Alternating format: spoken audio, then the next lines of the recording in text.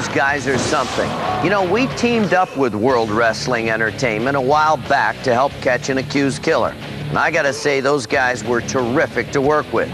Well, tonight we're going into a different world of wrestling, kind of the minor leagues. And in this next story, the action spilled right out of the ring. Our Tom Morris reports.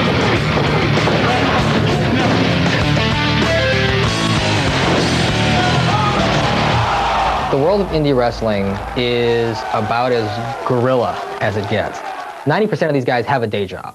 You know, they work somewhere during the day, and on the weekends, they go to a swap meet or a marketplace or a tiny little convention center and put on a show, and hoping to eventually one day get noticed by a larger promotion. And these guys will do anything to get noticed. Anything to move them up in the extreme world of pro wrestling. Literally anything. They claim those are real fluorescent tubes, real thumbtacks, real blood. In fact, the bloodier the better. All over the country, there are hundreds of small-time wrestling promotions like this one. These guys are starting from the bottom. But they don't just get in the ring, they put it up and they tear it down. That's right. The same guys who'll wrestle each other tonight are setting up the ring together this afternoon. What we do before the shows, we set it up, we talk through our matches, and uh, there's a lot of times that you can get, really get hurt in this ring. And to ensure that we don't get hurt, we'd like to be on track with each other, kind of know what we're doing. 24-year-old William Welch was a rising star on the independent or indie wrestling circuit. For him, life in the ring was a dream come true. As soon as I finished high school, I went to wrestling school and, and busted my ass for two years. I loved doing this, and I couldn't imagine myself doing anything else. Fans knew Welch as the Messiah, a specialist in one of wrestling's most extreme spectacles, the death match, the most violent form of this violent game.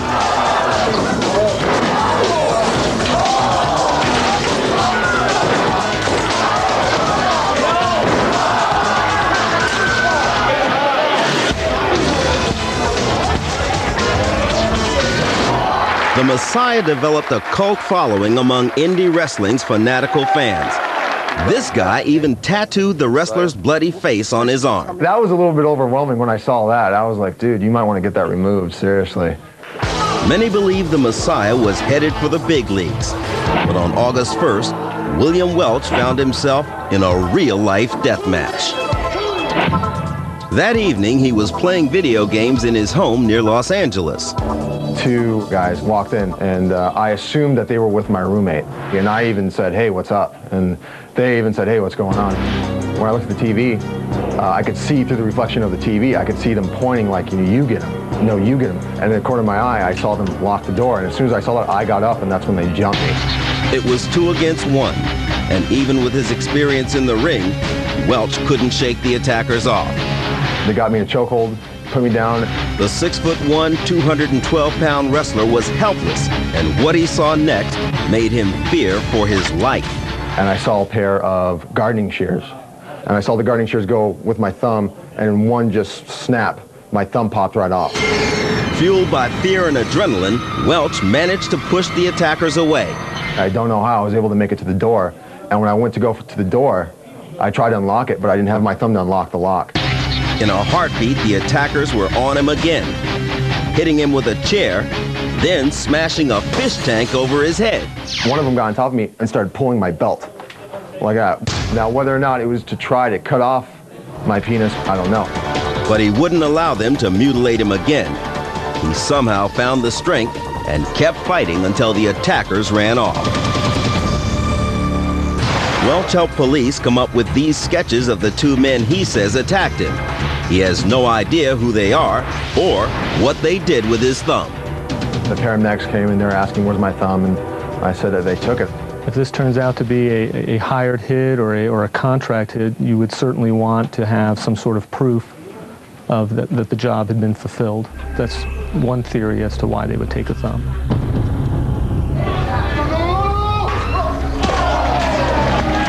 But who would want the Messiah hurt for real? To answer that, cops have been delving into the secretive and sometimes sleazy subculture of indie wrestling and William Welch's connections to it. You find out where I am, you find out I'm in another big promotion. In the weeks leading up to the attack, the Messiah had publicly mocked his former wrestling promoter, Rob Black. He claimed to have had an affair with Black's wife, porn star Lizzie Borden. Did that feud spill over from the ring into real life? That's what we wanted to ask Rob Black. But when we showed up at his office, Black's staff locked us out. Finding the men who attacked William Welch may provide cops with the answers they need. And with these two guys still on the loose, the wrestler is taking no chances. I'm in hiding. I'm just going from place to place, uh, just trying to build my life back together. He recently surfaced in the place he feels most comfortable, an indie wrestling show. This event was a benefit for the Messiah, raising money to help pay his medical bills. It was an emotional homecoming.